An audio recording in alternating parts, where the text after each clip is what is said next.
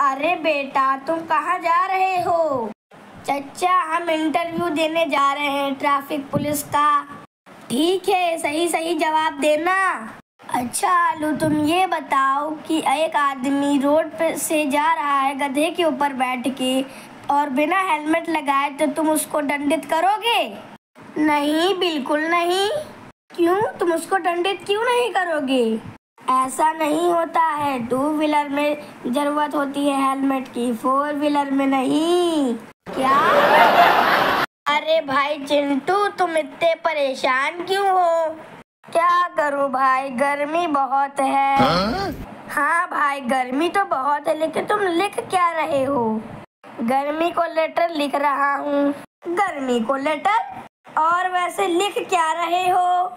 Dear गर्मी अगर तुम्हारे अंदर हिम्मत है तो दिसंबर या जनवरी में आके दिखा। What? क्या